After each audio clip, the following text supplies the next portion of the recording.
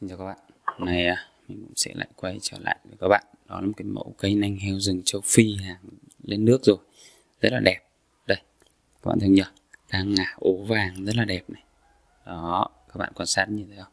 Đấy, rất là đẹp luôn. Đó, nanh rất là to. Đây cái ngón tay cái của mình này. Các bạn quan sát thấy rằng nó sẽ to hơn cái ngón tay cái của mình khoảng gấp rưỡi ngón tay cái của mình đấy. Đó thấy nhỉ? So với nanh Việt thì cái hang châu Phi này nó sẽ to và dài hơn. Đó đây các bạn quan sát thấy không? Bên dưới nen nanh heo thì đang mài tự nhiên.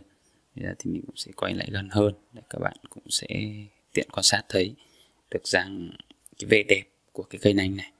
Đó. Thì là các bạn nào mà có thích uh, cái mẫu nanh này thì các bạn có thể liên hệ qua với, với bên mình nhé cây nanh này thì nó không được to lắm đâu nó chỉ dài khoảng tầm 13 phân thôi. Còn ngoài ra thì bên mình còn có nhiều mẫu nanh to hơn khoảng tầm 15 cho đến 16 phân. Thế nên các bạn nào mà có có thích những cái chiếc mẫu nanh mà nó dài hơn thì các bạn cũng có thể liên hệ nhé. Thì mình cũng sẽ chụp hình mình gửi qua cho các bạn để các bạn sẽ dễ dàng quan sát hơn. Đấy, cái kênh này của mình dài 13 phân này các bạn thấy không nhỉ? Đó. Nên là à, các bạn nào mà có nhu cầu bọc bạc hay bọc vàng thì các bạn cũng có thể liên hệ nhé.